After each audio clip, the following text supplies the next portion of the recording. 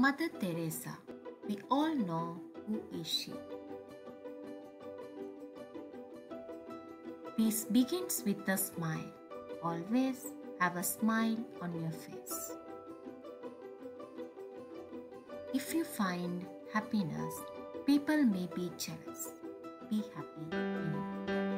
Try to be happy always. Today, let's do something